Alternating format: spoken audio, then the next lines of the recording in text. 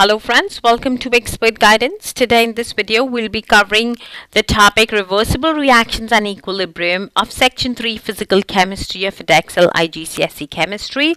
And this video will be covering the section 3.17 till 3.22 and in this video we'll be looking over how do we define a reversible reaction, some examples of reversible reaction, what a, a dynamic equilibrium is, how the position of the equilibrium can be changed by altering the conditions, how catalyst affects the equilibrium, and we'll be also discussing a small principle called Le-Chatelier's principle, which helps us in predicting the change in the direction of the equilibrium with the change in concentration, pressure, temperature, and the use of catalyst. And I would recommend you to watch this video till the end because in the end we'll be looking over a few applied questions on changing and altering conditions.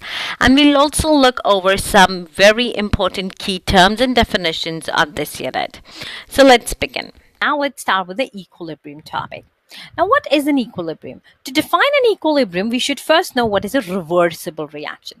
Now, there are many reactions in chemistry which are reversible. Reversible means reaction that proceeds both directions, that is the forward and the reverse. For example, manufacture of ammonia by a Haber-Bosch process. So nitrogen plus hydrogen gives ammonia in the forward direction and in the reverse direction, the ammonia breaks up to give nitrogen and hydrogen.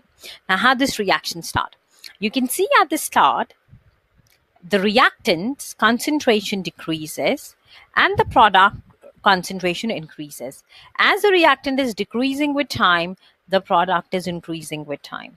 Now, at this point, can you see the concentration of both the reactants and the product is same? Why? Because at this point, the rate of appearance of product and the rate of disappearance of reactants is the same, and this is known as equilibrium. Now remember, do not write same in equilibrium. Equilibrium has a proper definition and you need to write exactly like this. Equilibrium is when the rate of forward reaction is equal to the rate of reverse reaction. Now most of the students think that as the concentration doesn't change at equilibrium, the reaction stops at equilibrium. But this is not true. The equilibrium is dynamic. What is dynamic equilibrium? It means that the reaction does not stop at equilibrium. The reaction takes place with the same rate in both the direction. So overall, we see no change. And for the dynamic equilibrium to set up, it has to be a closed system, so nothing should leave or enter the system, and the rate of forward reaction should be equal to the rate of reverse reaction. Okay, so I hope the definition of equilibrium is clear to you. Now, why we are studying equilibrium? So that we can alter equilibrium. And how we can alter equilibrium? By this Le-Chatelier's principle. Now, first of all, remember the definition and always write it in the same way. When the system in equilibrium is subject to a change, the equilibrium is moved to a direction to counteract the change. Now, what does that mean? For example, you're doing a reaction and you are deliberately increasing any concentration. So the reaction will move into that direction where that particular concentration that you have increased can be decreased. Got it? Confusing. Okay, let's take an example. Just see this reaction. This is the ammonia manufactures when nitrogen and hydrogen gives ammonia. So in the forward direction, what is happening? That is to the right, ammonia is being made and nitrogen and hydrogens are getting used up. In the reverse direction, what is happening? Ammonia is used up and nitrogen and hydrogen is made. Now, if you add nitrogen deliberately to this system, according to the Le-Chatelier's principle, whatever you do, the reaction will do the opposite. So you have added nitrogen, the reaction will move to that side, which is using up the nitrogen. So what is that side? Right. So the equilibrium will shift towards the right by adding nitrogen. Similarly, when you add the hydrogen, again, the equilibrium will try to decrease hydrogen. So it will move to that side that will decrease hydrogen, which is the right side. I hope you are getting it now. Let's take ammonia. If you add ammonia, according to Le-Chatelier's principle, what will the system do? It will try to decrease ammonia. Decrease ammonia means move to that side, which is using up ammonia. So the equilibrium will shift towards the left.